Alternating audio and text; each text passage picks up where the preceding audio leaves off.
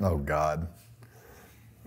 The things that when I see Tony and Danica together, I think uh, these conversations are awkward.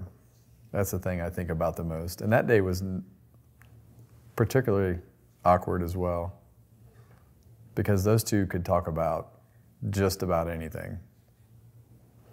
But